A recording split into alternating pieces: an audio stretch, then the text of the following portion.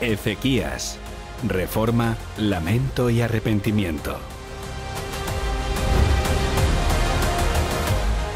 Ezequías durante su reinado trató de lograr una reforma en Judá. Al comienzo pareció un reinado muy prometedor.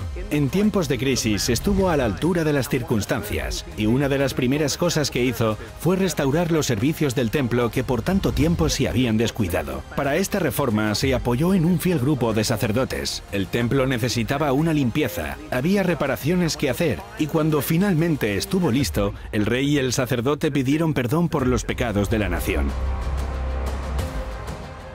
El reino había sido dividido muchos años atrás y esto había hecho muy difícil que se pudiera celebrar la Pascua a nivel nacional. Ezequías recuperó esta festividad nacional e invitaron a gente de todas partes para una celebración solemne de siete días. Fue un momento de gran reavivamiento. Mucha gente hizo cambios en sus vidas y al regresar a sus casas tuvieron que tomar la decisión de continuar esta obra de reforma en sus hogares. Segunda de Crónicas 31 dice que destruyeron los altares e imágenes que tenían diseminados por el país. Hacia la mitad de su próspero reinado, Ezequías sufrió una enfermedad. La Biblia dice que estaba enfermo de muerte.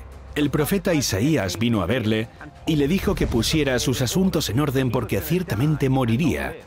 Pero mientras se estaba yendo, Dios le dijo a Isaías que regresara y le dijera a Ezequías que en tres días sanaría y viviría otros 15 años más. Ezequías pidió una señal para estar seguro de que este mensaje venía de Dios, y Dios le preguntó si quería que la sombra del reloj del sol avanzara 10 grados o retrocediera 10 grados. Ezequías dijo que no sería extraño que la sombra avanzase, así que pidió que retrocediera.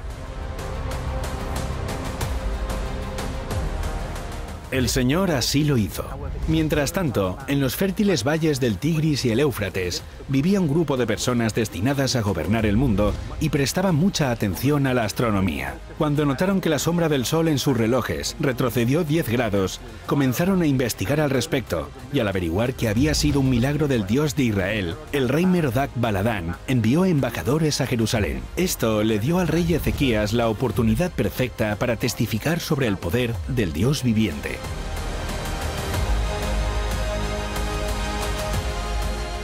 Por desgracia, el orgullo y la vanidad se apoderaron del corazón de Ezequías, y en lugar de compartir un testimonio acerca de Dios, les mostró su oro, plata, especias y costosos ungüentos. También les mostró la casa de armas y todos sus tesoros. En Segunda de Reyes 20:15 la Biblia dice, Nada quedó en mis tesoros que no se le mostrase. Aquí se reveló la verdadera naturaleza del corazón del rey. Por desgracia, cuando los embajadores regresaron, se quedaron con la historia sobre el oro y la plata en lugar de la historia sobre el poder de Dios. Esto provocó en ellos el deseo de regresar en el futuro a robar esos mismos tesoros.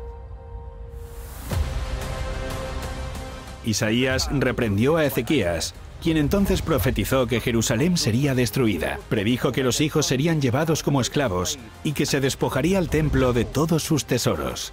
Ezequías perdió una oportunidad de oro para dar su testimonio. Y con frecuencia nos pasa a nosotros también. Dios pone a personas en nuestro camino a las que testificar, con las que compartir la palabra de Dios. Pero con demasiada frecuencia les hablamos sobre cosas poco importantes y superficiales. Estemos en sintonía con Dios y listos para testificar cuando tengamos la oportunidad.